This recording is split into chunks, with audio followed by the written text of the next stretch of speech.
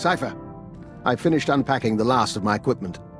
Between your ship's onboard systems and my custom apparatus, you'll soon have the finest in-flight laboratory in the sector.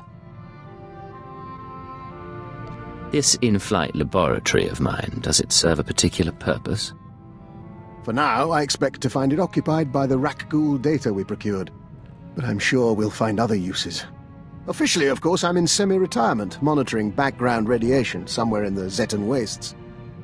Unofficially, I'm very much looking forward to traveling with you. What exactly is your position in Imperial intelligence? Let's just say the current administration is happy that I'm off Dromund Kaas.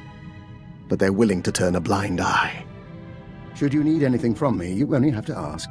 Although if you want my genetic code rewritten, let me know before we leave the ship. I thought you could become a Rakghoul whenever you wanted. It's somewhat more complicated and time-consuming. Nothing to be concerned with, but rarely an option in the field. Good day.